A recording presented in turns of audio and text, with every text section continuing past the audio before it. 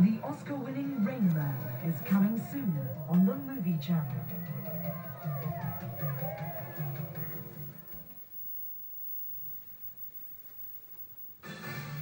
Thursday on the Movie Channel.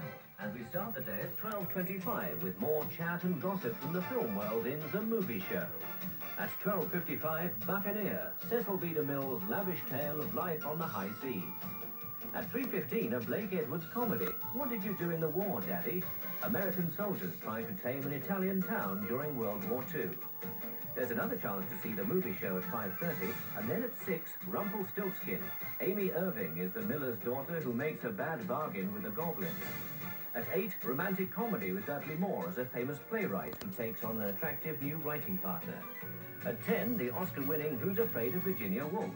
Richard Burton and Elizabeth Taylor subject some guests to an unpleasant evening. Your final film of the night at a quarter past midnight is Diary of a Madman. Vincent Price is the judge who suddenly begins to commit murders. Your Thursday on the Movie Channel.